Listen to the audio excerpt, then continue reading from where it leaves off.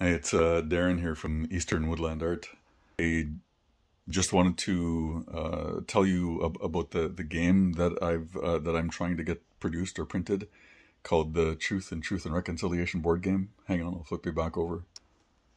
So this is a game that I came up with in uh, uh, probably well May 2017 when I was uh, teaching back in Ontario, and uh, it's a it's a trivia based game, and uh, uh, the idea is that um, uh, the you you have indigenous players plus the the church, the church and the crown players.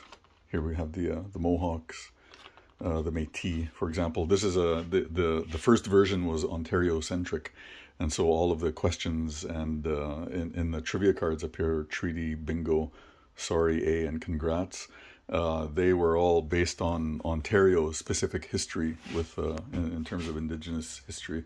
So um, in any event, uh, um, this was the original version of the game, uh, which which uh, literally is is cut and paste. So I took all the all the some of the facts, for example, and I just glued them onto these recipe cards. And this was the first incarnation of the um, the Truth and Truth and Reconciliation game. So I, I took this to um, a meeting, uh, a conference, uh, the First Nations Métis and Inuit uh, Education Association of Ontario, the FNMIEAO, uh, in London in 2017, and uh, a representative from Nelson, Canada, saw this game and. Uh, they contacted me later, and we began collaborating. And I, um, yeah, the, they they wanted some changes, and uh, after some consultation and uh, some inclusion of my artwork, elements of my own artwork, this is what it, this is what was produced. So, uh, in the original game, you only had the four sets of cards. Uh, in this uh, in this game, same concept, same idea. Turtle Island, Turtle Island there. Uh, anyway, th there's one more set of cards called status cards in the original game, we had uh, shame uh, and status cards as well. Uh, we also have those cards in this game. So there's shame and three types of different status cards. So you can be 100% Indian, 100% pure, or 100% uh, certified.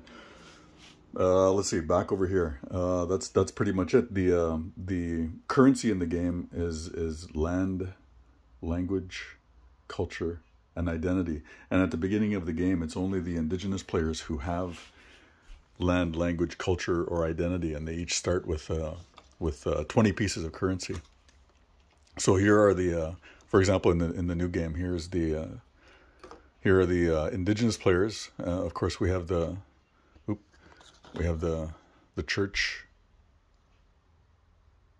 and we have the crown, and in the beginning of the game, uh, it's the indigenous players who have all the currency. Uh, the, so they have, they have the land, they have language, they have culture, and they have identity. And and uh, um, as they, uh, the the goal of the indigenous player is to collect uh, four eagle feathers. So one, two, three, four eagle feathers. When they collect four eagle feathers, if they have any land, language, culture, or identity left. They're survivors. If they run out of land, language, culture, ident- and identity before they collect four eagle feathers, they uh, are extinct and they're out of the game. So, uh, the goal of the church and the crown is basically essentially just to strip the indigenous players of all their land, language, culture, and identity to the point of extinction. So, um, the, uh, the, the collaborative part with uh, Nelson ended because we disagreed. Uh, uh a, big portion of their um, of the their audience or their uh, market in Ontario uh, were concerned about the church getting shame cards or earning shame cards, and so they wouldn't they wouldn't use the game. So. Um, uh, and I and I uh, did not want to re remove the shame cards. The shame cards are there for a reason. Shame, shame is a thing.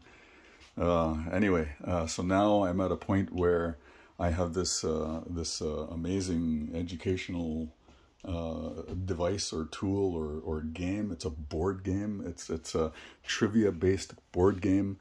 The, uh, the the way the indigenous players lose their language, culture, land, and identity is is through policies and laws and and uh, uh, things that were done uh, historically, and and that's what these cards contain. These trivia cards ca- contain the truth and uh, the the consequence of of that policy or law or change. So this is uh, this is where things are at. I, I want to do a, a, a fundraiser, a GoFundMe fundraiser um, to to publish the game on my own, and then uh, I want to give it away. I'll I'll give it away if um, uh, the the goal is to raise 1.5 million dollars, and uh, it, it'll print 20,000 copies of this game, plus the, genuine Indian guidebook uh, to the uh, truth and truth and reconciliation. uh, um, and uh, all of these would be given away uh, to anybody who wants them. Uh, Twenty thousand copies. That's the that's the goal. Twenty thousand copies. Give away twenty thousand copies of this game, or deliver them by September thirtieth, twenty twenty three. That's the goal. then we don't have to worry about school boards opposing or not liking elements of the game. Yeah, right.